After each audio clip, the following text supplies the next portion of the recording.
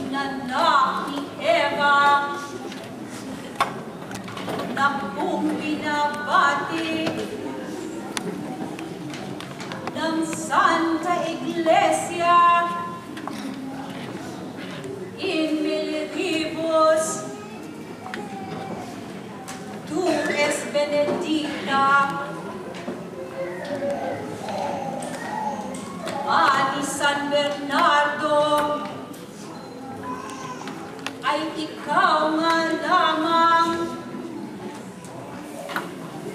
tu es sola digna. Maging inang tunay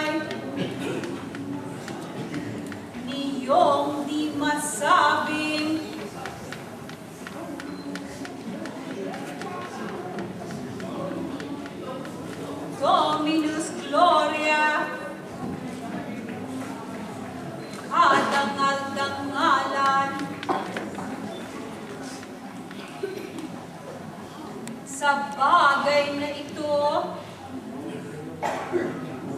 Ani Santo Tomas.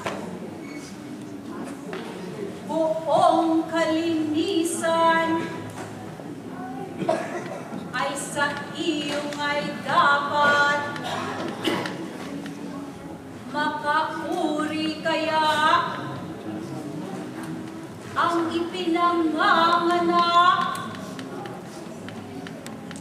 kumbaga sa ginto sang-ayon at wagas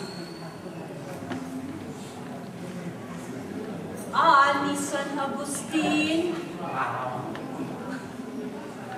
doktor ng simbahan inamo sa bagmadla mga tekstong mahal sa misteryo.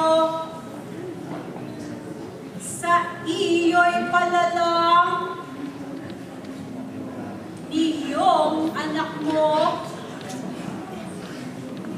na inakang tinuruan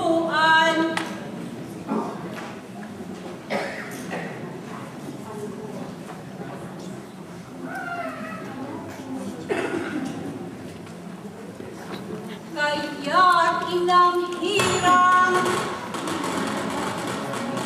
Di man dapat